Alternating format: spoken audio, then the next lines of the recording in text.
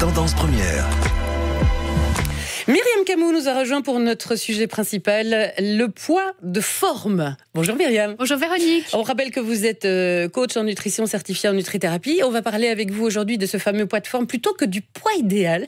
Je trouve pas plus mal, alors on pourrait se dire c'est une question de, mots. En fait non, parce que je me suis aperçue c'est une notion qui vient du monde du sport et qui permet d'associer différents éléments, euh, le train de vie, la façon dont on va passer sa journée euh, et toute une série d'autres choses pour atteindre un poids qui va nous aller à nous. Tout à fait. Donc le poids de forme, euh, effectivement, euh, il ne sera pas le même pour une personne qui est ultra musclée, euh, qui fait énormément de sport, que pour une personne voilà, qui en fait moins. une personne qui mesure, je sais pas moi, par exemple, 1m80 et qui fait 90 kg, pourrait tout à fait avoir son poids de forme si elle est très fortement musclée, par exemple. Oui, ou hein. que c'est un sportif, quelqu'un qui bouge tout à beaucoup. Fait. Donc voilà, le poids de forme, c'est vraiment l'idée de trouver le poids qui nous va dans lequel on se sent bien et qui est lié vraiment euh, à un mode de vie sain, tout simplement. Donc on ne parle plus de ce fameux, euh, comment est-ce qu'on dit, le rapport entre le poids et la, taille ou je ne sais plus quoi. Oui, oui, c'est ça. Donc euh, non, disons que moi c'est une, notion qui ne me plaît pas particulièrement. Je pense que le poids de forme, c'est vraiment le, poids qui nous va bien, dans lequel on se sent bien et qu'on atteint bah, grâce à un mode de vie sur le long terme, euh, sain, euh, qui inclut évidemment l'alimentation, mais aussi bah, tout ce qui est gestion du stress, euh, sommeil et activité physique, évidemment. Mhm. On a tendance à dire que ce début d'année, évidemment, c'est le moment où l'on pense à faire des régimes. Alors, oui. on l'a dit, excite les régimes bah écoutez, oui, euh, on est un peu tous et toutes pareilles. Hein. En gros, on veut tous être à notre avantage, etc. Et pendant des décennies, on nous a fait croire qu'il faut souffrir pour être beau, pour être belle, euh, et que pour cela, il faut se restreindre, euh, il faut faire des régimes hypocaloriques, etc., etc. Alors ça, bah, ça a été beaucoup véhiculé par les médias, mais aussi par l'industrie pharmaceutique que ça arrangeait bien, de nous vendre les substituts alimentaires, les pilules magiques, hein, qui évidemment auquel on a toutes et tous voulu croire, hein, mhm. parce que voilà. Les petites bouteilles de détox qu'on vend aussi à, 450 euros les 10 ou je sais pas quoi. Enfin, Tout à fait. Alors euh, les plats préparés, euh, low calories, etc. Et donc on a toutes, toutes euh, et tous voulu y croire un jour, mais le constat est le suivant, c'est que bah, la restriction calorique, les régimes, la frustration est synonyme d'échec sur le moyen ou le long terme. Une étude a montré que 80 à 95 des personnes qui ont perdu du poids suite à un régime restrictif hypocalorique caloriques l'ont repris, si pas plus, euh, dans les mm. cinq années. Donc, euh, moi, ce que je propose aujourd'hui, euh, ben, c'est une manière beaucoup plus consciente et, et, douce, en fait. L'idée est de vraiment modifier la qualité de son alimentation. Mm. L'idée est de manger mieux et non de manger moins. Mm. Et manger sainement, c'est un mode de vie, c'est pas un régime. un régime, ça a toujours un début, une fin. Entre les deux, on n'a rien appris. Euh, puis on revient à nos habitudes et entre-temps, notre corps a changé. Mm. Notre métabolisme de base a diminué, c'est-à-dire que notre corps a besoin de moins d'énergie. Du coup, si on recommence à manger normalement, ben, on va prendre du poids. Mm. Et donc, c'est ce qu'on appelle l'effet yo-yo. Et, euh, voilà, c'est euh, de ça dont je suis venue vous parler aujourd'hui. C'est l'effet le plus terrible, évidemment. Et alors, bon, euh, entendons-nous bien, on parle bien des, gens, monsieur, madame, tout le monde, comme vous et moi, qui essayons de gérer notre poids plus ou moins. En matière de régime, évidemment, certains sont obligés de faire des régimes pour des raisons de santé, mais sont alors suivis par un médecin. Voilà, moi j'appelle ça plutôt une diète, par exemple, bah, pour les personnes diabétiques ou en insuffisance rénale. Voilà, c'est mmh. pas du tout de ça dont on parle aujourd'hui. Non, on parle vraiment, euh, voilà, hein, on est après les fêtes, on s'est un petit peu alourdi quand même, on se sent un peu pâteux, et on voudrait juste retrouver bah, l'énergie. Et c'est ça qu'on va vous proposer de faire. C'est pas forcément vous fixer une perte de poids de 5-10 kilos. Tout à fait. Mais c'est retrouver suffisamment d'énergie dans votre alimentation. Tout à fait. Mais moi, je dis toujours que si on mange pour sa santé, on mange pour son poids. Mm. Il n'y a pas une alimentation idéale pour la santé qui serait différente de l'alimentation idéale pour le poids. Mm. Et j'encourage souvent euh, ben voilà, les personnes qui viennent me voir euh, à manger sainement pour leur santé et je leur dis le poids va suivre. Euh, c'est tout à fait logique parce que voilà, l'idée, c'est vraiment de modifier la qualité de notre alimentation. Pourquoi parce que ce qui nous fait prendre du poids, c'est tout d'abord ce qu'on appelle les aliments ultra transformés. Les plats préparés, euh, les barres de céréales euh, euh, industrielles, tous ces aliments qu'on peut nommer, qu'on peut qualifier d'aliments palatables. Ce sont des aliments faciles à aimer. Le moelleux de la brioche, la douceur ou le craquant, voilà d'autres types d'aliments. Et ces aliments ultra transformés, euh, sont très riches en, sucre, en graisse trans, euh, donc transformée, sont faciles à aimer et nous poussent à manger davantage. Ils ne nous apportent aucune satiété. Donc ça, c'est la première chose à faire, c'est se dire, on va retourner en cuisine, on va utiliser des aliments vrais, bruts, qu'on va transformer nous-mêmes. Deuxième chose qu'il faudrait, euh, sur un deuxième point d'attention, c'est le petit déjeuner. Aujourd'hui, le petit déjeuner s'apparente souvent à une orgie de sucre. Hein, or, il est bien prouvé que c'est bien le sucre et les aliments à index glycémique élevé, et je développerai la notion, qui nous font prendre du poids. Puisque plus on mange euh, sucré, plus on mange des aliments à index glycémique élevé, plus notre taux d'insuline va s'élever rapidement et de manière importante, et va transformer l'excédent de sucre en graisse corporelle. Et donc, il faut vraiment se remettre euh, cette idée en tête, c'est que ce qui fait prendre du poids, euh, malgré tout ce qu'on a voulu nous dire pendant de nombreuses années, ce ne sont pas les graisses, en tout cas pas les bonnes graisses, ce sont vraiment les aliments sucrés à index glycémique élevé. Et donc voilà, du coup, je vous propose aussi d'oublier la traque du gras, euh, puisque vraiment l'ennemi à battre, euh, l'ennemi euh, de la prise de poids, c'est bien le sucre. Alors, cette... oui? On peut, on peut manger du gras? Oui, tout à fait. Donc il y a gras et gras. non seulement on peut, mais on doit. Figurez-vous que les acides gras oméga 3 sont des graisses anti-inflammatoires et qui peuvent vraiment freiner le développement des adipocytes, des cellules graisseuses. les oméga 3 aident vraiment à brûler les graisses corporelles euh, en, les aidant à entrer dans le métabolisme énergétique. Donc, première chose à retenir, c'est que euh, manger de, bonnes huiles euh, ou des noix riches en oméga 3, du style bah, les noix classiques ou les huiles de colza, de lin, ainsi que consommer des petits poissons gras comme les sardines, les harengs, les maquereaux, ce sont des graisses anti-inflammatoires qui vont vraiment aider le corps à se débarrasser de l'excédent de graisse corporelle. Et ça, c'est une idée que beaucoup de personnes ont du mal à intégrer, évidemment, hein, quand on a des idées très ancrées. Et pourtant, euh, une supplémentation d'oméga 3 ou la consommation dans les aliments peut énormément aider.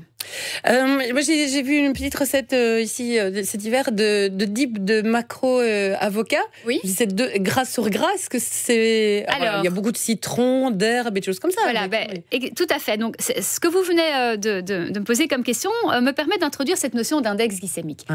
Ah, on va y revenir. On va laisser placer le suspense. Parce qu'en plus, on a des questions et on va y répondre aussi. Par exemple, Inès qui nous dit euh, J'aimerais retrouver un poids de forme en pratiquant un jeûne régulier, une fois par semaine, précise-t-elle, ou toutes les deux semaines. J'en ai, entendu euh, des bienfaits également au niveau santé, prévention des maladies chroniques, etc. Je voudrais juste savoir ce que vous en pensez pour la santé. Est-ce que c'est dangereux ou pas? Il faut-il prendre des précautions en faisant cela? Faut-il être suivi euh, ou pas? Et puis, une autre personne qui nous parle de son poids, de, de sa méthode poids de forme, c'est Jean qui nous dit avoir une bonne balance de boxeur balance de boxeur, je connaissais pas. Euh, avec le poids exact à 50 grammes près. Ah oui, d'accord. Donc c'est vraiment très précis. C'est plus encourageant car même si c'est 50 grammes en moins, eh ben ça motive. Et je me pèse tous les jours et ça me motive euh, plus qu'une fois par semaine. La veille au soir, par exemple, je me dis ah, je me pèse demain matin, donc je fais plus attention. J'ai perdu 50 grammes, je suis content, mais parfois je perds 3 à 400 grammes. On va y revenir. En début d'année, je termine les restes dans le frigo, je vide les dernières bouteilles, puis je repars avec des fruits et légumes et c'est euh, reparti, nous dit Jean. Vous allez réagir à la méthode de Jean. C'est quand même un peu stressant de se dire oui, il faut que j'atteigne 50 grammes, mais on va y revenir juste après une petite page de pub. Bruxelles, info kba.be avec la libre et le vif. 10h, 11h30. Tendance première. Véronique Tiberghien. Et Myriam Camou qui est avec nous évidemment pour euh, notre euh, premier sujet euh, de cette année avec la perte de poids, mais pour atteindre un poids de forme plutôt qu'un poids idéal qui est totalement hypothétique et on ne sait pas toujours idéal pour qui ni pourquoi. Tout à fait. mais en tout cas un poids de forme qui nous permettra pardon, de garder vitalité, énergie et de rester le plus longtemps possible en bonne santé. Alors tout ça c'est instaurer de bonnes habitudes, vous l'avez dit, changer certaines mauvaises de nos habitudes aussi essayer de mettre en place certaines choses. Est-ce que la pratique du jeûne, telle que euh, Anne nous en parlait, une fois euh, par semaine ou une fois toutes les deux semaines, je suppose mhm. qu'elle parle d'une journée dans ce cas-là, euh, est-ce qu'on d'abord on, se lance comme ça à l'aveuglette ou est-ce qu'il vaut mieux d'abord prendre conseil pour Alors en fait, pour commencer, je dirais que si on pratique un jeûne dit intermittent, donc ça c'est le jeûne le plus euh, souvent euh, pratiqué par, euh, par beaucoup de monde, c'est très à la mode, ça s'appelle le fasting ou jeûne intermittent, c'est-à-dire qu'on se nourrit uniquement dans une fenêtre de 8 heures et pendant les 16 autres heures, eh bien, ben, on jeûne. Et donc, énormément de personnes le pratiquent au quotidien. Donc ça c'est un type de jeûne dont je vais vous parler. Et puis il y a un jeûne plus prolongé qui euh, peut aller euh, de 24 heures à hein, euh, parfois une semaine. Hein. Donc c'est pas le même type de jeûne. Alors, ouais, on reste pas une semaine sans manger sans conséquences. Bah écoutez, certaines personnes le pratiquent et voilà, avec différents types de conséquences. évidemment, il faut être bien encadré pour faire ce genre de jeûne. personnellement, j'ai jamais pratiqué, donc je peux pas, je peux pas témoigner là-dessus. Par contre, le jeûne intermittent, c'est quelque chose de plus facile et qui permet aux personnes ben, d'avoir une bonne énergie. Il s'agit en fait euh, de ne plus manger entre le repas du soir et le repas de midi le lendemain. Et c'est-à-dire qu'on va laisser son corps au repos euh, pendant à peu près 16 heures. Euh, ce qui va avoir comme conséquence ben, euh, euh, un renouvellement cellulaire et le fait de ne pas utiliser l'énergie, pardon, le fait de ne pas nécessiter, de ne pas demander au corps d'utiliser de l'énergie pour la digestion, va permettre au corps justement d'utiliser cette énergie pour se détoxifier et pour le renouvellement cellulaire. Mmh. Et donc en fait, en laissant le corps au repos pendant 16 heures, on va permettre au corps eh bien, de fonctionner mieux. Et un corps qui fonctionne mieux, c'est un corps qui élimine mieux et qui stocke moins. Donc, énormément de personnes pratiquent euh, cette méthode dit euh, de jeûne intermittent ou fasting. Alors après, pour ce qui est du jeûne prolongé, il faut savoir qu'à partir de 24 heures de jeûne, eh bien, les graisses corporelles sont transformées en ce qu'on appelle des corps cétoniques qui vont entrer dans le métabolisme énergétique puisqu'il n'y a plus de glucose dans le corps, on est en hypoglycémie. Ce sont les corps cétoniques, donc ce sont les graisses corporelles qui se transforment en corps cétoniques qui vont entrer dans le métabolisme énergétique. Et donc, à partir de 24 heures, on commence vraiment à utiliser nos réserves de graisse corporelle. Mmh. Euh, ce qui n'est pas forcément sans conséquence. Une personne qui n'est pas parfaitement saine euh, du point de vue ben, voilà, de son organisme euh, peut, comment dire, avoir des maux de tête ou se sentir dans ce qu'on appelle des crises d'élimination, puisque toutes les toxines sont relarguées en même temps. puisque les toxines sont généralement pas uniquement, mais sont euh, emprisonnés dans nos graisses corporelles. Et donc, euh, on passe par une phase euh, un peu complexe de détoxification, de crise d'élimination, qu'il vaudrait mieux éviter en ayant au préalable, avant euh, d'essayer un jeûne prolongé, essayer plutôt d'avoir une alimentation sur plusieurs semaines plutôt saine, dans l'objectif de déjà euh, faire du bien à son corps. C'est déjà une manière de détoxifier son corps, mais de le faire avec plus de douceur peut-être pour son corps. Voilà. Et là aussi, en introduisant des aliments sains, oui. euh, ou en tout cas plus sains, on va déjà éliminer une partie des toxines, mais de manière plus douce, parce que là on parle aussi de crampes, vous parlez d'acide cétonique, c'est la principale de corps cétonique. De corps cétonique. oui, ce sont les principales responsables des crampes. Voilà, c'est ça. Euh, oui, alors ça, c'est l'acide lactique, mais. Ah oui, pardon. Oui, voilà, c'est pas la même chose. Mais l'idée est que avant de faire un jeûne prolongé, il faudrait déjà, durant les semaines qui précèdent, avoir une alimentation très très riche en fruits, en légumes, euh, dans l'objectif de déjà avoir une un premier pas vers la détoxification. Mmh. Voilà. moi, je suis pas prête de jeûner, je vous le dis tout de suite. Euh, je préfère adapter l'autre version, adapter mon alimentation. Euh, par contre, Jean nous disait euh, avec sa, balance. Alors, euh, un, Jean, ça vous stresse pas? Enfin, j'ai l'impression que c'est stressant quand même de se dire, je vais perdre 50 grammes. il me dit, lui, il dit ça motive. Donc chacun sa motivation. Ça, effectivement, ça peut être motivant. Bah, écoutez, la plupart des personnes, le fait de se peser génère un stress.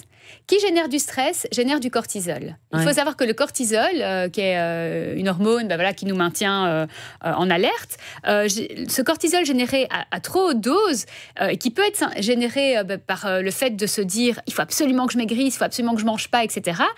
A contrario, ça va avoir un effet contre-productif parce que le cortisol va nous faire stocker des graisses au niveau abdominal. Donc, euh, personnellement, je suis absolument pas pour. Et puis après, euh, notre corps peut peser 50 grammes de plus ou de moins, ne serait-ce qu'en buvant un verre d'eau ou en allant aux toilettes. Je veux dire, c'est pas significatif. Ce qui est important, c'est de se dire qu'on va perdre des graisses corporelles, mais pas forcément du poids. Euh, parfois, du poids, on en prend en faisant de la rétention d'eau. les cycles menstruels féminins nous le montrent bien. Ben hein. oui, il faut varier. Voilà, tout à fait. Lorsqu'on fait du sport, nos muscles se gorgent également. Donc après avoir fait une séance de sport, parfois on va, on va peser plus. Pas parce qu'on a gagné de la graisse, mais parce que nos, nos muscles se sont gorgés d'eau. Et donc, il faut vraiment être très prudent avec ça. Ce qui compte, c'est pas le poids tout simplement sur la balance, c'est notre taux de graisse corporelle finalement. Et donc pour ça, il y a des balances plus intéressantes. Mais la balance, il faut s'en méfier. C'est vraiment, euh, chez la plupart des personnes, euh, synonyme de stress et d'angoisse. Mm. Euh, et c'est pas bon. Donc euh, voilà. Index glycémique. Oui. Alors ce que je voulais vous dire tout à l'heure, vous me parliez d'aliments caloriques et imaginons macro, avocat avec euh, plein d'huile d'olive.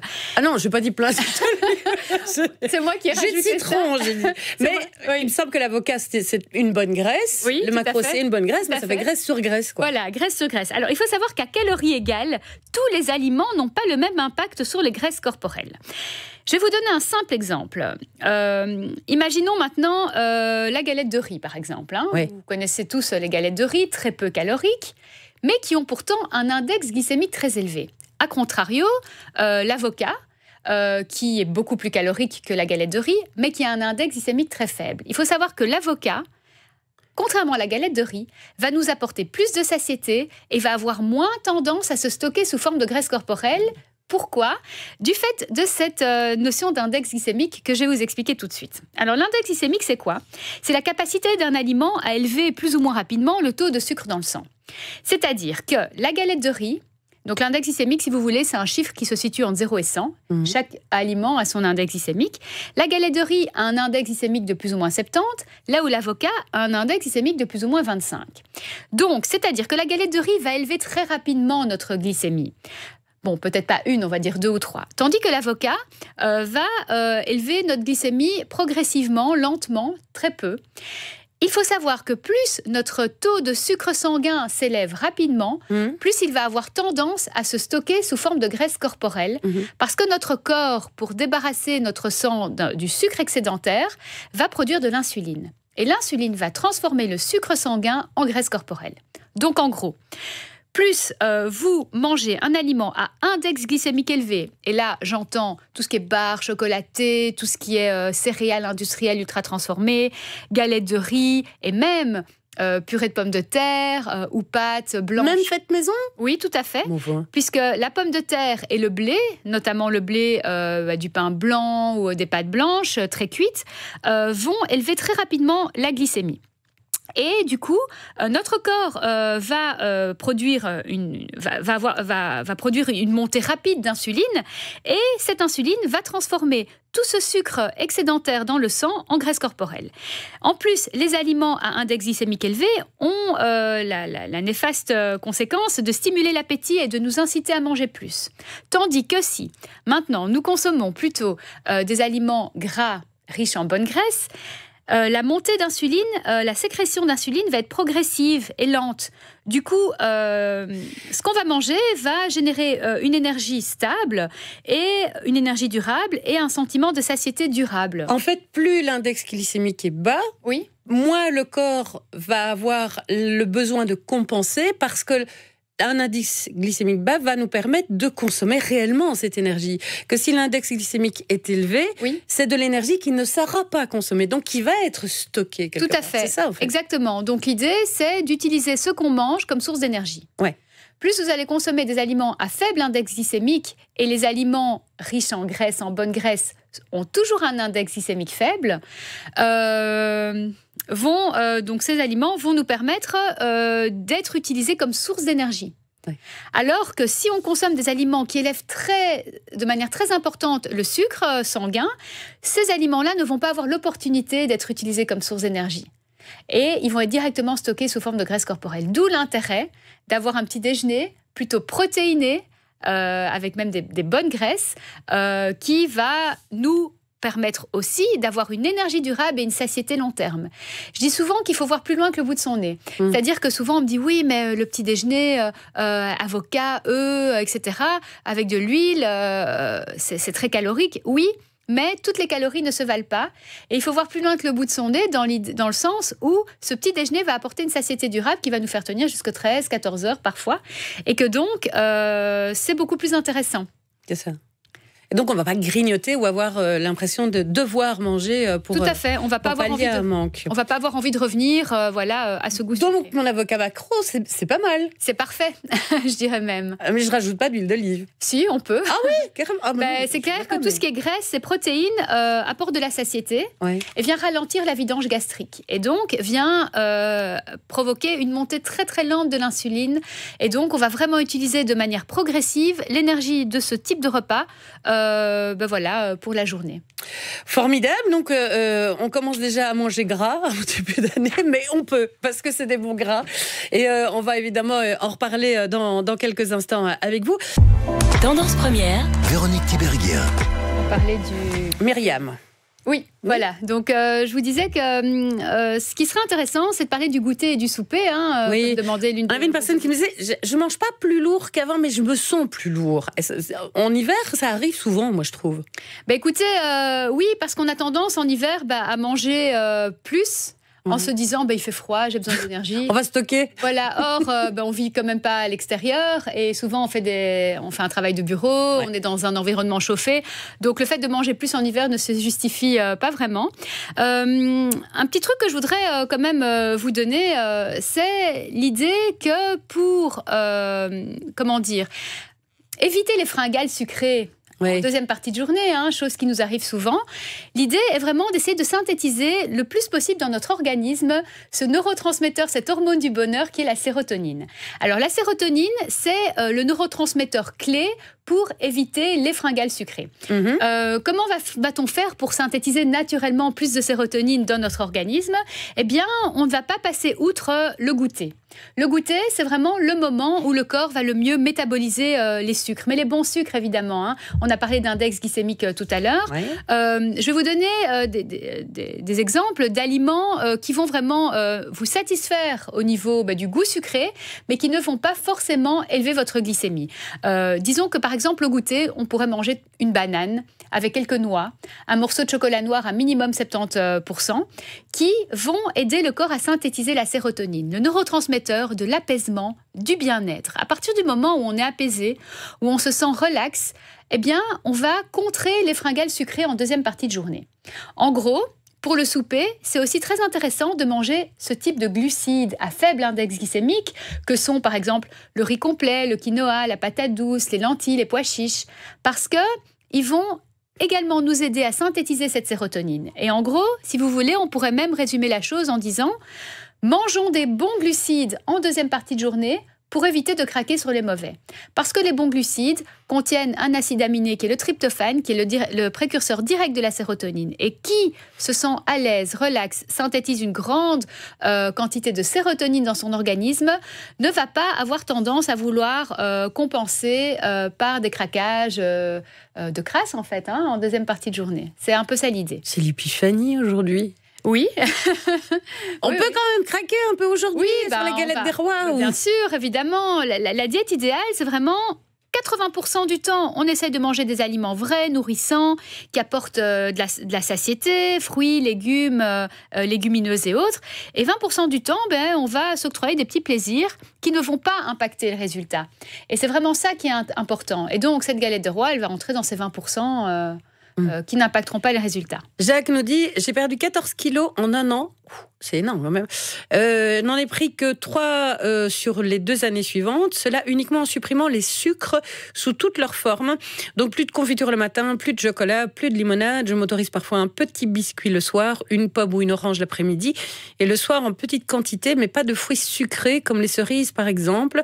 Je n'ai plus de diabète ni de cholestérol, nous dit-il. Ah oui, mais Jacques a donc dû, à mon avis, faire aussi un régime à cause du, du diabète. Voilà. Mais effectivement, supprimant ne fût-ce que déjà les limonades et euh, les sucres Tout ce qui est hum, transformé, oui ça peut apporter déjà une efficacité. Mais ça peut et ça va apporter une efficacité. Euh, si vous remplacez tous vos grignotages de la journée, euh, toutes les barres de céréales, etc., parce qu'il faut aussi savoir que tout ce qui est céréales du petit déjeuner, biscuits petit déjeuner et autres ont un index glycémique euh, qui crève les plafonds. Hein. Ah oui.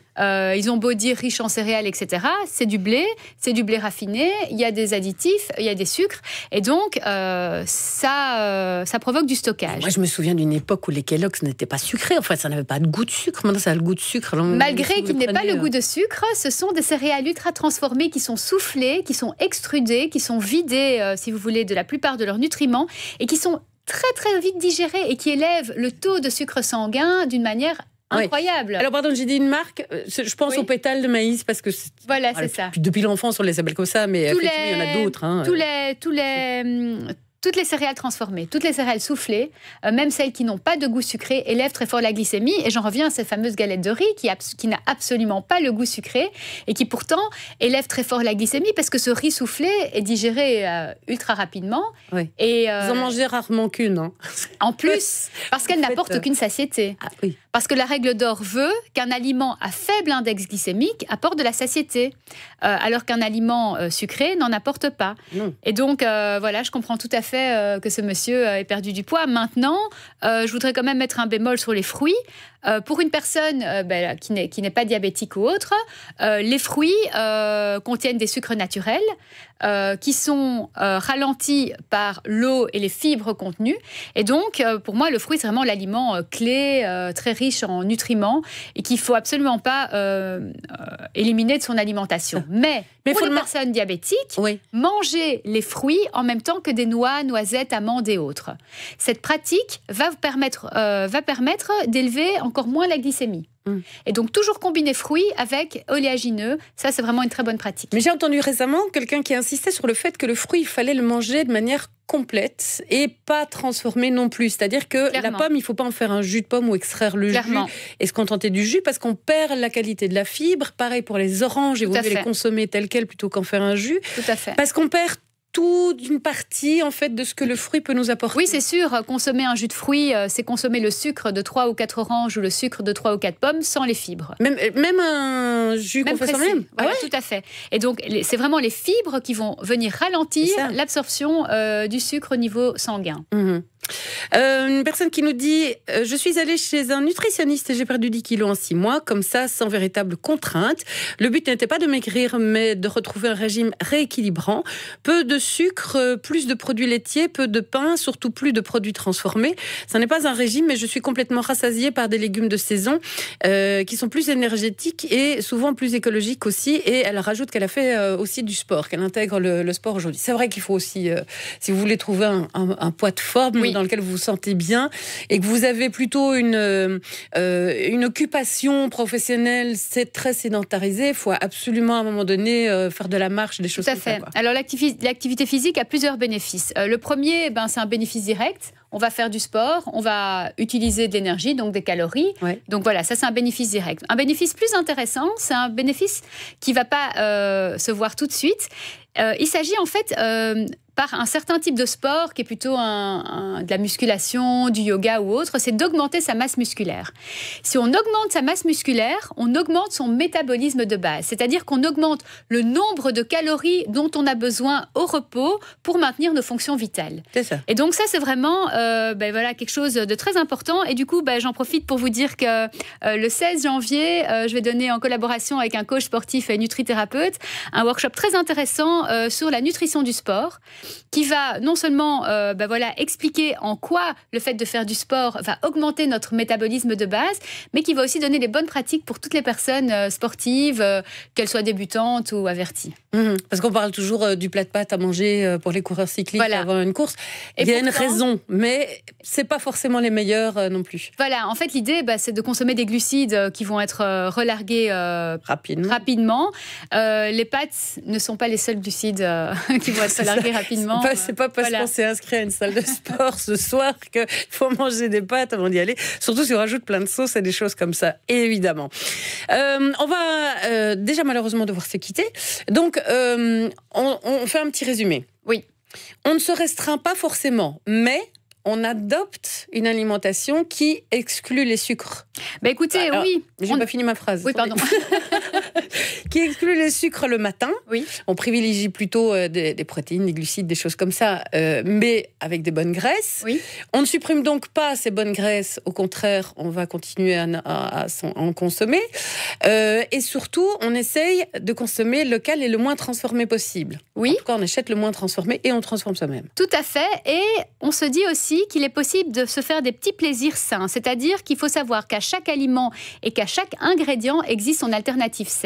Ouais. Euh, je vous invite à aller regarder euh, sur mon site, hein, greencoachnutrition.com. Il y a énormément de recettes euh, qui sont des recettes au goût sucré, au goût chocolaté, mais dont les ingrédients ont été les ingrédients dits de base ont été remplacés par des ingrédients beaucoup plus sains et qui nous permettent bah, de continuer à consommer sans aucun qu'une culpabilité des petites douceurs sucrées et chocolatées. Mm. Et donc ça, il faut vraiment le savoir. Il existe vraiment des alternatives. Et on, terminera avec le message euh, de Adrien qui nous dit euh, plus un aliment a du goût, moins j'en consomme parce que moi juste. j'ai besoin d'en consommer. C'est juste. Et c'est vrai que plus ça du goût, plus ça vous donne très vite ce sentiment de satiété. de satiété. Et on voit ça, pas, euh. voilà, et on voit ça avec le chocolat noir versus le chocolat au lait praliné. euh, Ouais, un petit morceau de chocolat noir nous apporte une grande satisfaction. Le chocolat noir est à minimum 70% est un excellent aliment à très faible index glycémique.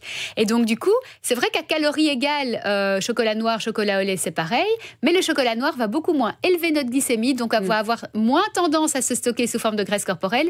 Et c'est en ça qu'il est beaucoup plus sain et intéressant. Et on s'autorise un petit craquage pour l'épiphanie, une petite galette. Ah bien Un sûr, ça, morceau de galette des rois. ça fait partie des, Voilà, des, plaisirs qu'il faut entretenir. Merci beaucoup Myriam. Merci Véronique, à bientôt.